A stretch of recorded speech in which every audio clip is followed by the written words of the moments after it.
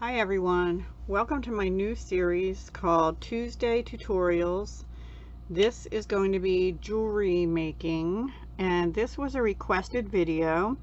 It's the first in a series and since it's the first, what we're gonna what I'm going to show you today is my 10 most used tools in jewelry making.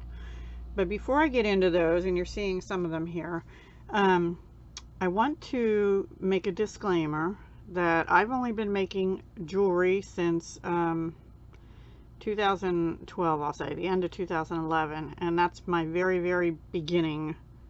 Uh, and I took a lot of classes at places like Bead Fest, uh, which is a, um, um, it's like a, uh, an event, a several day event where they hold classes and things, and then they sell beads and whatnot.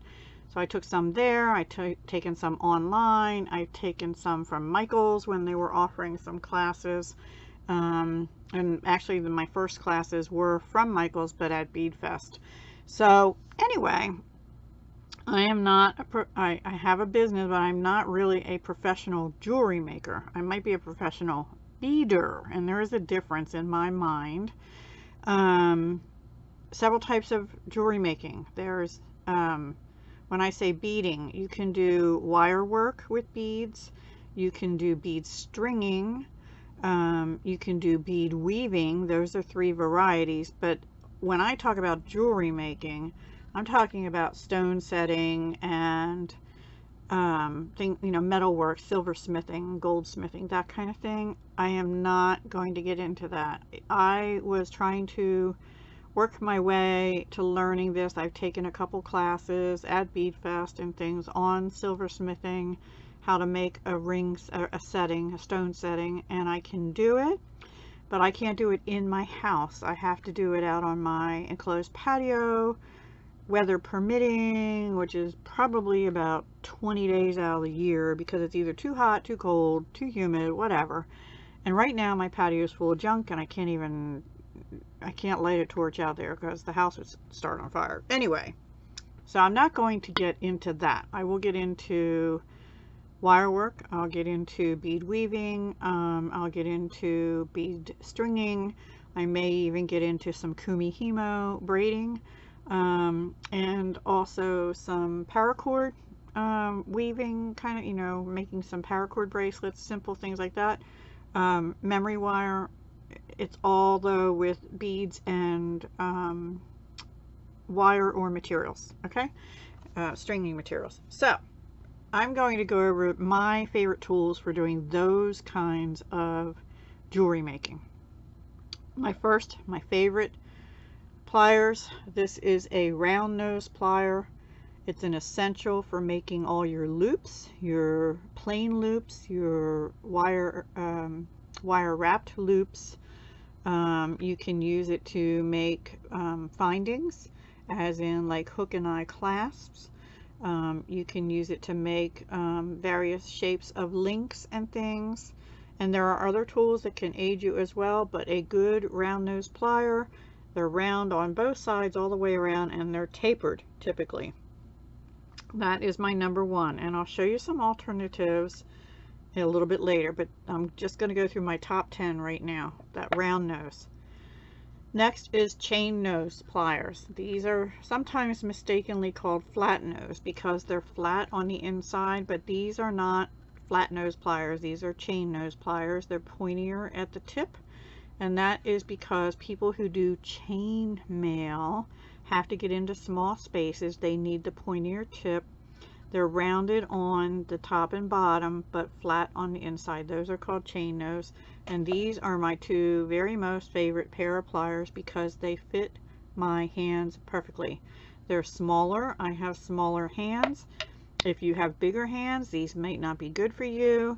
So my suggestion is when you're buying your first set of pliers, try and get them in person at a place maybe that has some out that you can say, you know, can I hold those for a minute or test them and see how they fit? Because it's really important. These are ergonomic. They have a place for my thumb to go. Um, they spring nicely. These are by Beadalon. And I don't I'm sure I got them at Michael's, but I don't know. I think you can get them online now. I'm not sure if Michael still sells them or not. I haven't checked lately. So those are my two most used pliers. My third most used plier is this um, bent nose plier. This is a little sparkle one. It's not as ergonomic as the others, but it also, again, has a small handle. You want these to fit your hands because if you're doing a lot of this work, it can be stressful and, you know, you could get carpal tunnel or whatever if you don't take care of yourself. So make sure the fit is good. Now what I like about the bent nose, um, first of all, if you're doing things with jump rings, opening and closing, you need another pair of pliers and preferably not round nose because they'll bend your, your rings out of shape.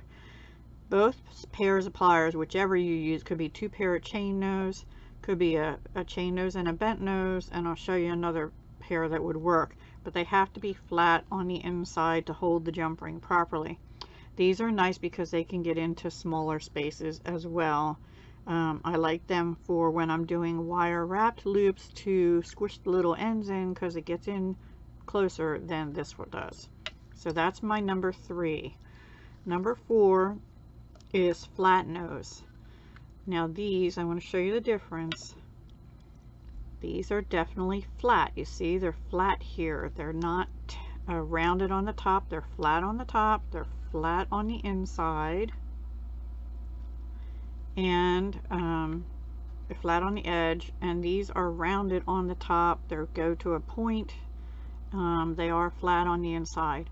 What I mostly use these for right now is when I make my earring wires myself which I actually prefer to do um, this makes that little twist on the bottom of the ear wire in the back of your ear um, just perfectly evenly spaced. So I use that mostly for that but I could also use them for helping do jump rings or I could use these two to do jump rings either one. So it's a it's another kind of a flat inside plier. Um, so these are my four most used and with all your pliers you have to have good cutters. And these two are my favorite. These are flush cutters meaning this side would be the side that cuts your wire flush, meaning straight up and down. And um, that's important for many things, especially if you are making your own jump rings or something. You want the cut to be straight up and down. Um, there's also shears that do that. Now these are called micro shear flush cutters um, because they can get into small spaces. I really prefer these when I'm doing my earrings and fine wire work. Um, and they are good up to 14 gauge, which is a pretty thick wire. But I prefer not to use these for anything past 18 gauge. These are made by Xuron. And these are called Maxi Shear Flush Cutters.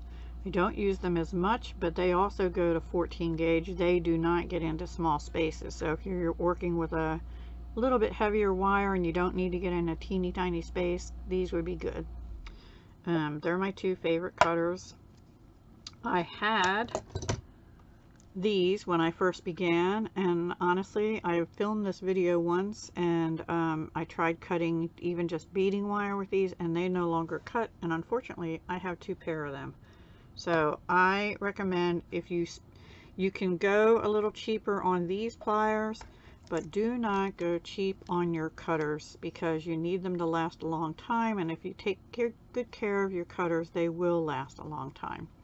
The thing is, make sure you don't use these kind of uh, cutters to cut with uh, memory wire because they will absolutely ruin your cutters. For memory wire, this is my one, two, three, four, sixth thing. You need a good pair of memory wire cutters. And there are a couple varieties, but this one has a little space here. Has like a hole and it closes and it just cuts down and it cuts your memory wire really well. Memory wire is really heavy, like steel um, wire it's not your normal like copper coated wire or sterling silver wire or something like that. And it will mar or nick, um, chip your regular cutters. So be sure if you're going to be doing memory wire to get a memory wire cutter. Very important. So that is number six. Number seven is crimping pliers. You only need one pair. Uh, they have a whole bunch of different fancy kinds now, but and I'll show you more about these. But crimping pliers, if you're making strung necklace, necklaces and bracelets, are essential. Um, they have a little, like a U-shaped thing with a dip in it in this second hole right here where my thumb is. Uh, that is where you put a crimp tube or crimp bead through. I'm trying to get it to focus. This, there, maybe there. And then the front hole up here is where you would round that crimp beater tube after you've crimped it. And we'll get into that more, but if you're going to do be, be doing bead stringing, you need a pair of crimping pliers. Actually, if you're just beginning, you you don't. You can just squish the crimp bead or crimp tube carefully and then um, try and um, use your pliers to bend it. This just makes it easier to do it and it gets it right more of the time than doing it the other way. But if you're just starting, can't afford crimping pliers, you can use your chain nose pliers to crimp. Okay, so another tool I use all the time when I make my own ear wires in particular is a wire rounder. This is called a cup burr. Um, so if you're going to be doing things like making ear wires, this is an essential tool. And what it does is when you make your ear wire, you know the little piece that goes through your ear where you don't want it to be scratching your ear. So this, you take the end of the wire and you turn it. You're supposed to turn it one direction only and it smooths out that rough cut on the end of the wire so it doesn't hurt your ear. So I use that all the time when I make ear wires. And then last, my number 10 is beading needles. Uh, if you do any kind of bead weaving, um, you need some good beading needles. These are tulip beading needles number 11. They come in sizes like 10, 11, and 12. And a lot of um, bead weaving tutorials will tell you use a size 10 or a size 12 because it needs to be able to go through the beads with the thread multiple times. I prefer 11 because it tends to work in either of those that say size 10 or 12. And these are flexible needles um, that don't break easily. I've never had one break. I've had them bend and I still use them when they bend. Like you can see this one is bent. There you go. These are not. I haven't used these yet. And I still use them um, until they get really misshapen. Now the thing about beading needles, different from regular sewing needles, is the eye is really small.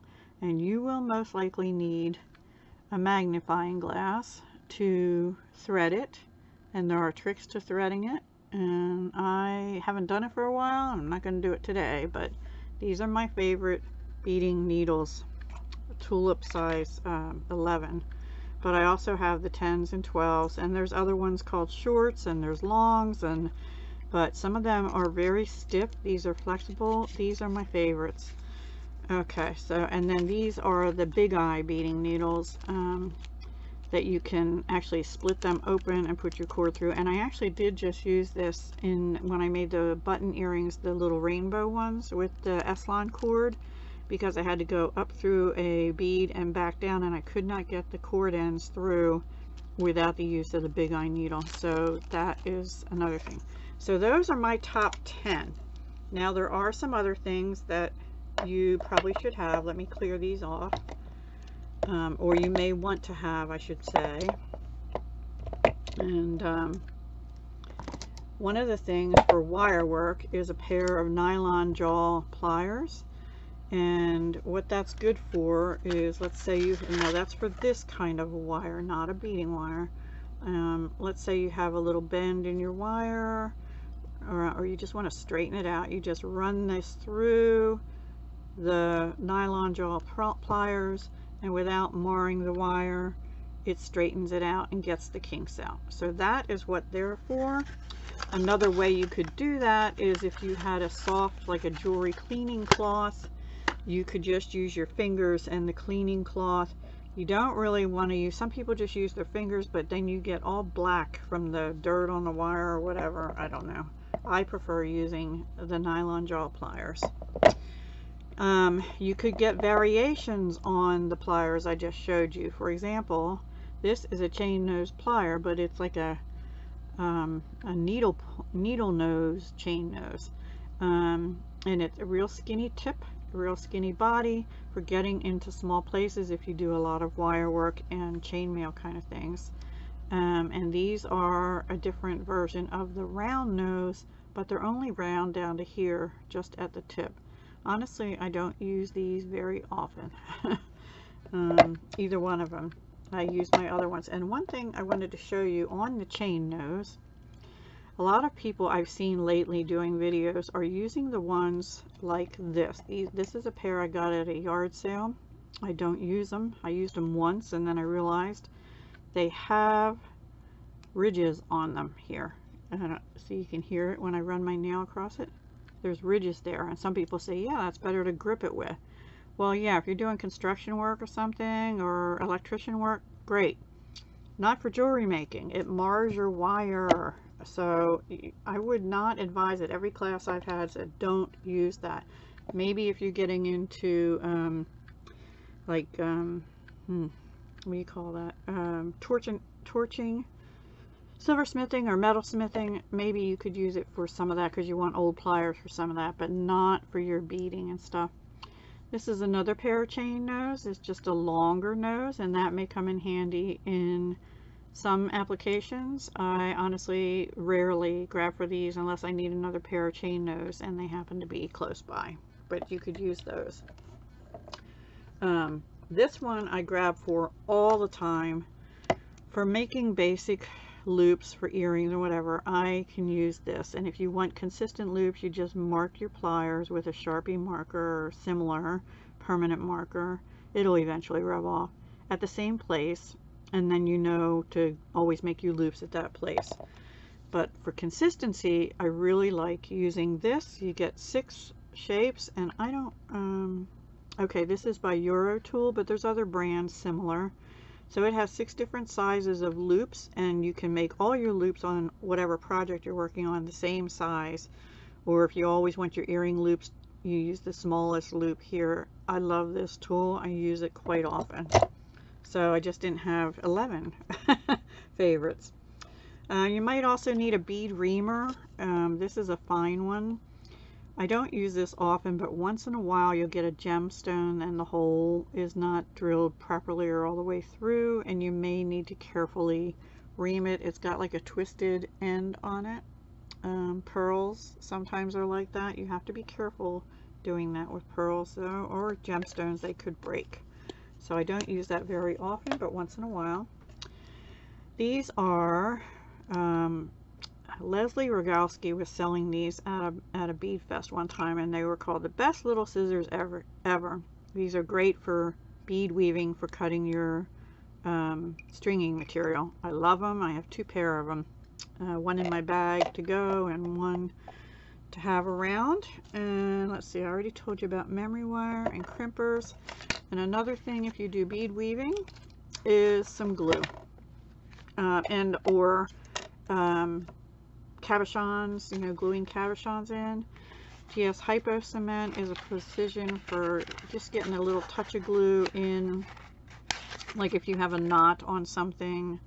This one's probably old and pretty, yeah, still liquid in there, I can feel it.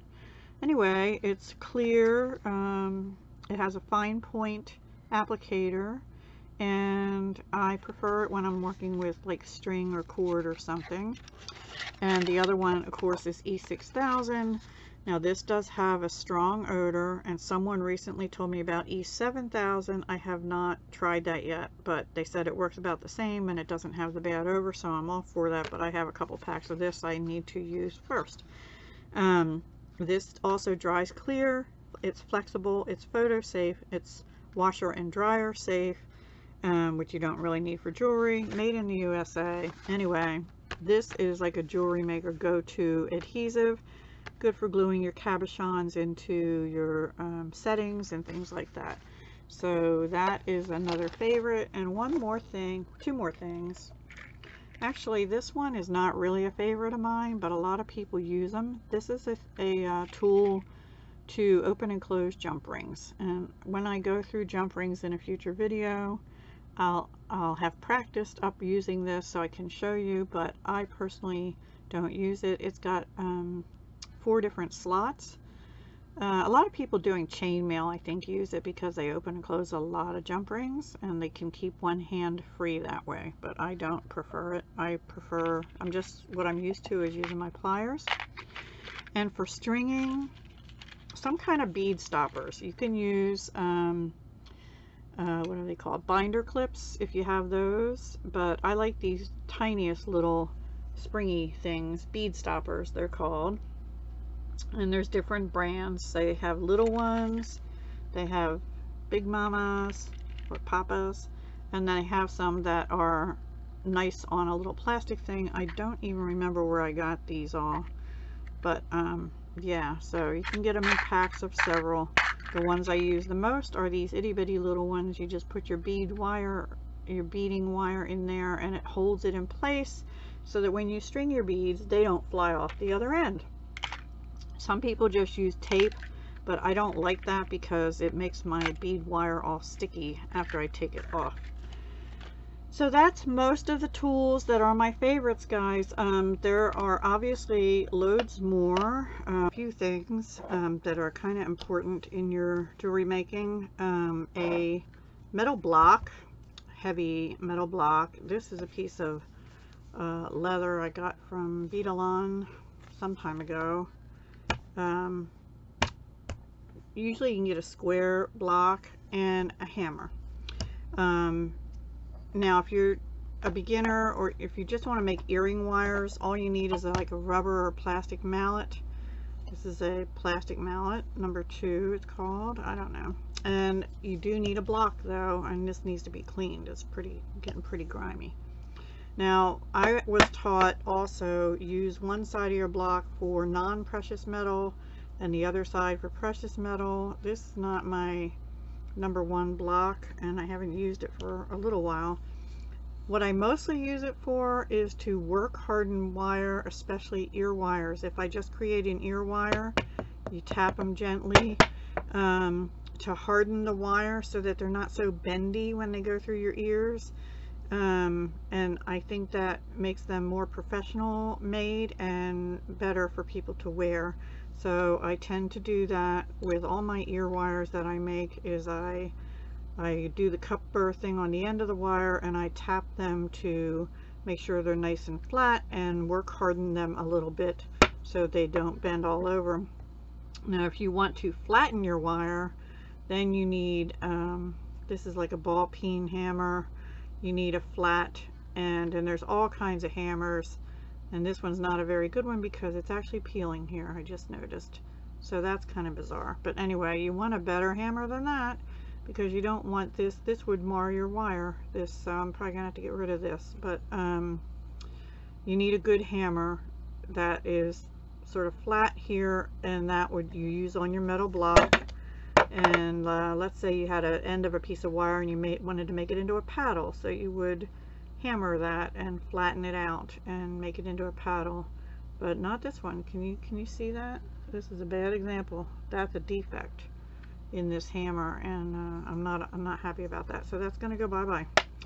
Um, I do have other hammers that are better quality. So again quality matters. I probably didn't use this very much and now it's already bubbling just sitting here in my room. So that's kind of bizarre but this is a good one. This has lasted a long time and I do use this all the time for if you don't want to shape your wire you just want to harden it. A plastic mallet or um, rubber mallet would be a good investment. Okay. When you get into metal smithing and things there's filing tools, there's um, buffing and shining tools, there's like a Dremel machine you could use or a, um, oh I forget what the one is that hangs on the hook and bring it down. Anyway, um, oh I do have two more things, I'm sorry.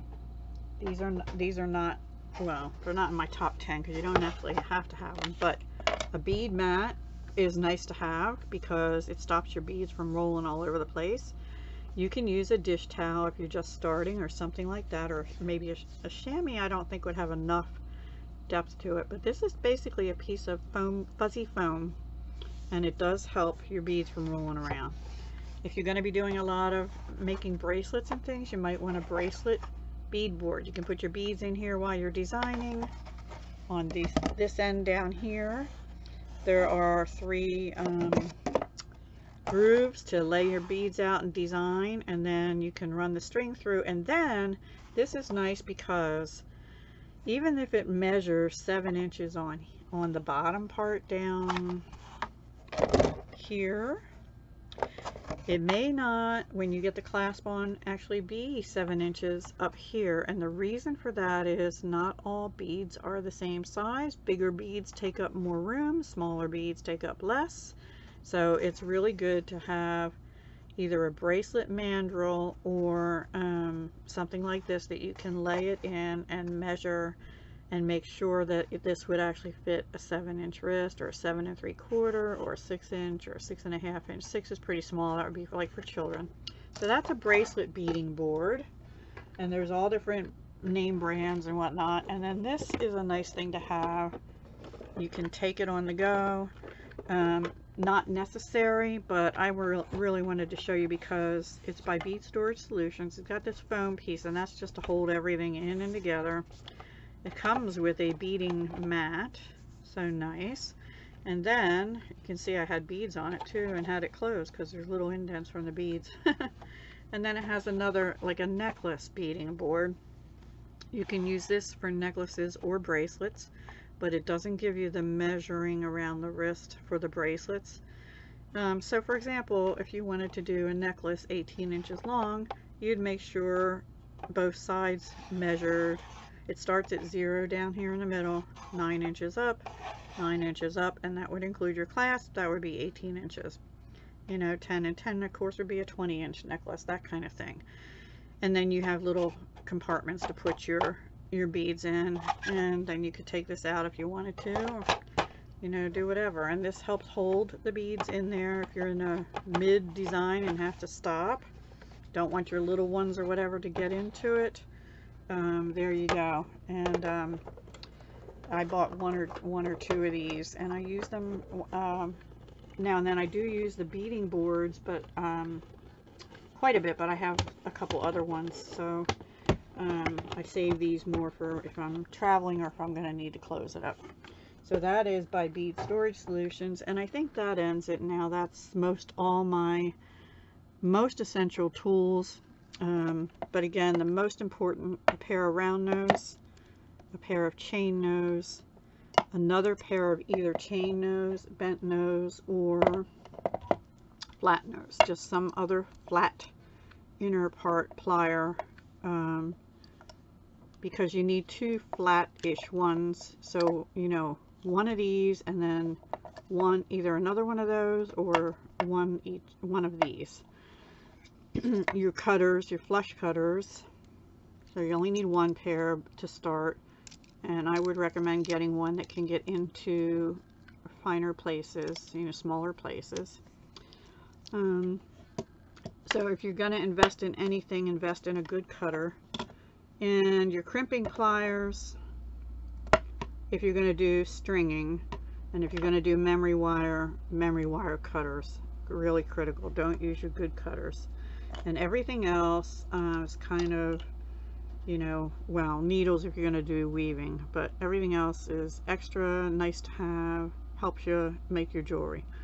These are the most critical ones okay hope you enjoyed that if you did please let me know and give me a thumbs up and um, the next one will probably be on wire types of wire gauges and jump rings and then we'll take it from there and if you have suggestions on what you'd like to see, please let me know. We'll probably be getting into types of beads, types of gemstone beads.